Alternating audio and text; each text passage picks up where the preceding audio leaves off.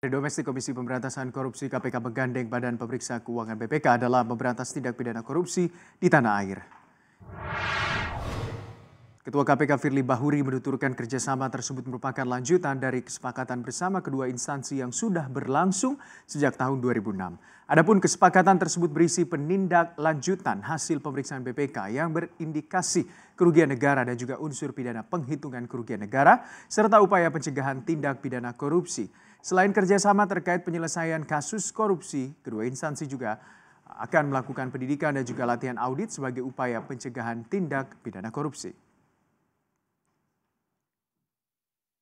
Kerjasama itu ada empat intinya. Pertama adalah tentu kita berbagi informasi karena kami tahu betul bahwa uh, Badan Pemeriksaan Keuangan selalu saja membuat dan melakukan investigasi baik itu yang rutin maupun dengan maksud tertentu dan kami butuhkan itu.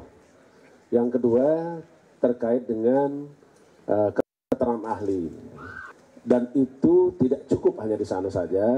Kita paham bahwa uh, eh, KPK membutuhkan sumber daya manusia dari BPK.